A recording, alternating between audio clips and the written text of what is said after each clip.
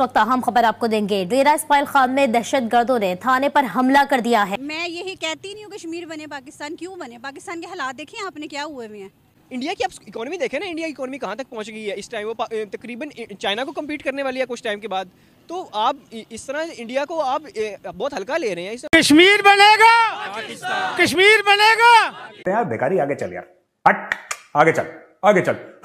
तो मकसद ये कि एशियन टाइगर भी अभी तक हम नहीं हो सके। पांचवी मैच तो या सातवीं दसवीं मैच तो दूर की बात है। अभी हम एशियन टाइगर भी बनते बनते कभी कहते हैं रह गए या नहीं हुआ। मुझे बताइएगा इंडिया के साथ जंग करनी चाहिए या दोस्ती करनी चाहिए? जंग करनी चाहिए जंग करनी चाहिए। आप मुझे बताइएगा इंडिया से दोस्ती करनी चाहिए जंग करनी चाहिए? जंग करनी चाहिए। जंग जंग।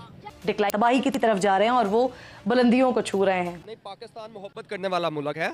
इंडिया वाले मोहब्बत नहीं करते। जो नहीं। नहीं नहीं ये- ये आप जज्बाती बात कर रहे हैं ये तो पाकिस्तान की स्पेस एजेंसी का क्या नाम है? क्या वजह है कि दुनिया भारत के वज़ीर अजम नरेंद्र मोदी को तो सुनना चाहती है?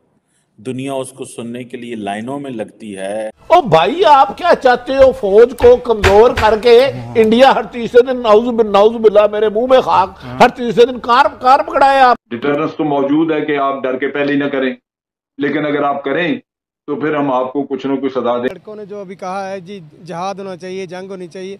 जहाद के लिए तो एक पूरा करना पड़ता है ना। लेकिन बात यह है कि अभी अगर जंग भी होगी तो फिर भी टेबल पे आके मसाले मसले हल होने हैं। इंडिया इस वक्त फ्रंट रो पर है। यानी अगर इस दुनिया को कोई तब्दील करेगा कोई बदलेगा तो वो इंडिया ही है और इंडिया इस सिलसिले में जो है वो सबसे आगे है। भारत इस हवाले से हमें कई बार आजमा चुका है। भारत अगर हमें दोबारा आजमाना चाहता है तो हम तैयार हैं। मुल्क हमारा हमारा जो मज़हब है ये किसी चीज़ के इसके तारीफ़ ही नहीं है हमारे मज़हब की। हम मुसलमानों की आप यकीन करें कि हम जिस लेवल पे थे लेकिन इन लोगों की वजह से ना कोई किसी का पता ही नहीं। हमें ये नज़र आ रहा है कि इंडिया एक फिफ्थ लार्जेस्ट इकोनॉमी से थर्ड लार्जेस्ट इकोनॉमी की तरफ़ तेज़ी से बढ़ा है और उसकी जो अचीवमेंट्स हैं अभी तक की इकोनॉमी में क्या वजह है कि दुनिया भारत के वज़ीर अजम नरेंद्र मोदी को तो सुनना चाहती है? दुनिया उसको सुनने के लिए लाइनों में लगती है। ओ भाई आप क्या चाहते हो? फौज को कमज़ोर करके? अरे ये सोच का फ़र्क है। हम हम शुरू से 47 से जो है यही देखते आ रहे हैं कि इंडिया बहुत बुरा है ये हो रहा है वो हो रहा है एलओसी पे ये हो रहा है वो हो रहा है। हम हमने आज तक ये देखे नहीं हम उस तरफ़ जाते ही नहीं है कि तो ज़्यादा तरक्की याफ्ता मुल्क है वो। जी हाँ जी। अब अपने मुल्क में आप देख लें कोई चीज़ होती है अब ये कर्जा उठा लेते हैं। कर्जा उठा के वो चीज़ बनाते नहीं है जिससे हमारा कर्जा उतर जाए।